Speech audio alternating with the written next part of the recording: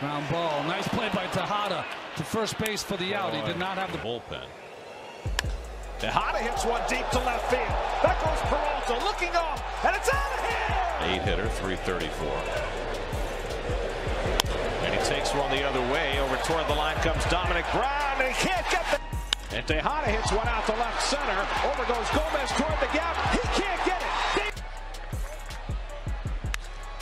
Ground ball. Nice stab by Tejada. Spins around and throws. Two on and nobody out. And Ellsbury lines one. Short hop by Tejada. Out at second. Murph the turn. Double. And Tejada lines a base hit, and the Mets win the ball. Skips away. And the throw to second by Realmuto. And Tejada just Disappeared. And Ruben lines one into left center for a game-winning hit. Tejada one for three, a double and two walks today. And he lines one into left center, and the Mets win it.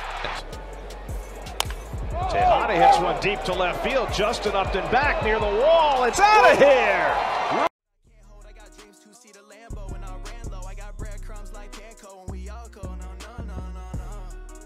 Hop in the whip is pouring, raindrops in the morning, yeah.